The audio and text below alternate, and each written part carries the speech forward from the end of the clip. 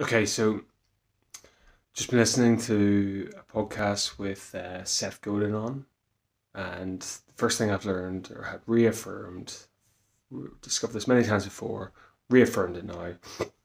Seth Godin is an utter genius with a very, very listenable voice. Fact one. Fact two, he's just talked about sunk costs. I want to get this on the record for myself. A sunk cost, we all have an idea of what it is. A sunk cost, as explained by Seth, is that sunk cost is a gift from our former self. And we just have to decide whether we're going to accept that gift or not.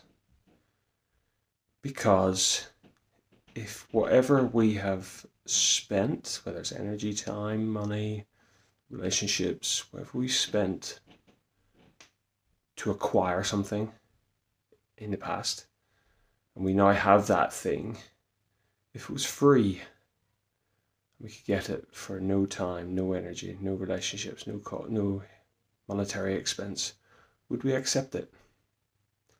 Would we walk straight past? Okay, and very often we feel as though we have to accept it because we've spent something on it. But actually, Seth would have us think try to think we have a choice whether we need to want to accept that gift or not. Too often, I have accepted that gift.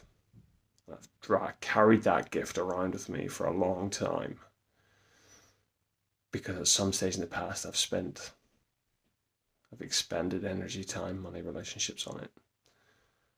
So the challenge, therefore, is to cut those cords jettison